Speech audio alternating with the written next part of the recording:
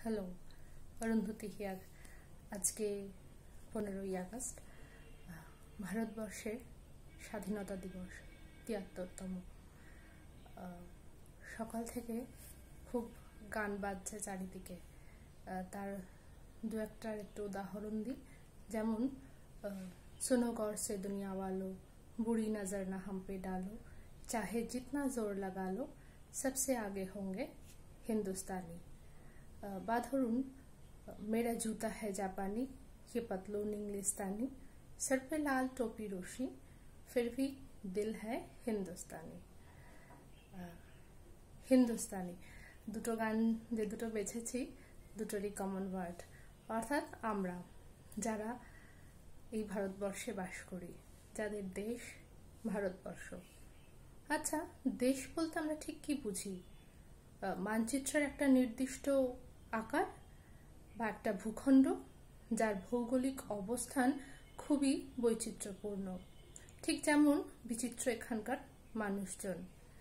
সেই সেলুকাসের সময় থেকেই ওই প্রবাদ বাক্যটি খুব প্রচলিত যে, সত্যি সেলুকাস, কি বিচিত্রই দেশ? তো তবে থেকেই এই বিবিধের পরিচয় আমরা বহন করে চলেছি।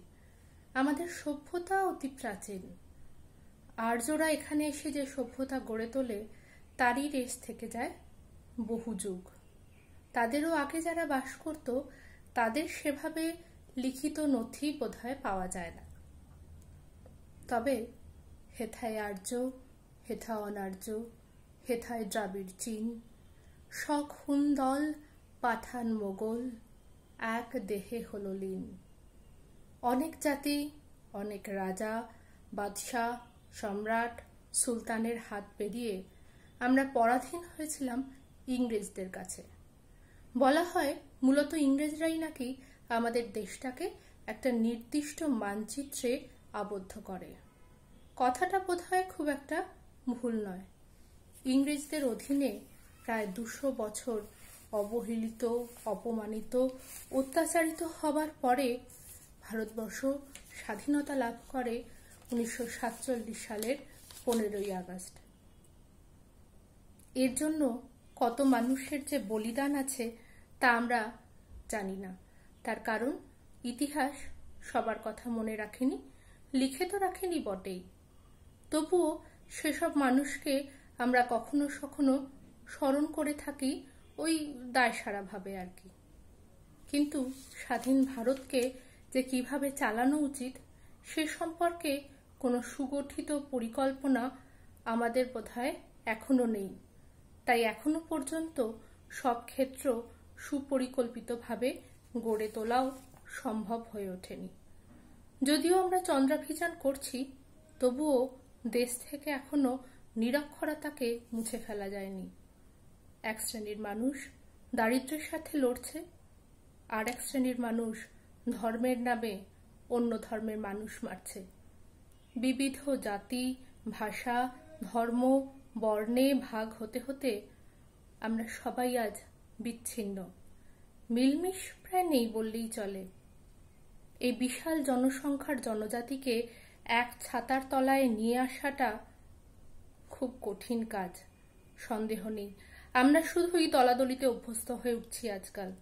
যেমনভাবে পরিবার ভাঙছে, দেশটাকেও ঠিক সেইভাবেই ভেঙে টুকরো টুকরো করে ফেলতে চাইছি আমরা। সবাই নিজেদের চাহিদা নিয়েই ব্যস্ত।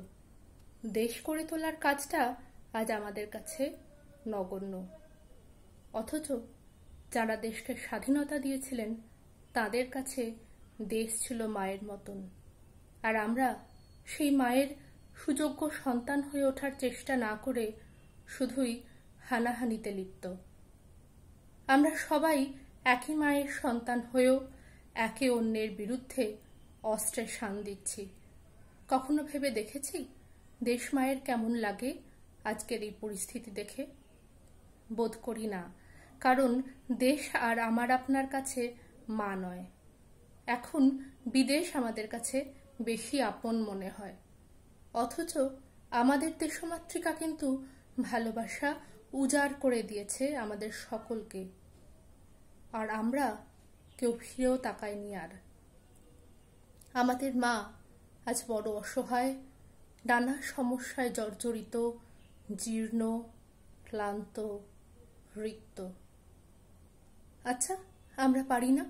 আমাদের এই স্বাধীনভাবে বেঁচে থাকার দায়িত্বটা সবার মধ্যে সমান করে ভাগ করে নিতে আমরা পারি না? আবার আগের মতো গাইতে। ও মা তোমার চরণ দুটি বক্ষে আমার ধরি। আমার এই দেশেতে জন্ম যেন, এই দেশেতে মরি। এমন দেশটি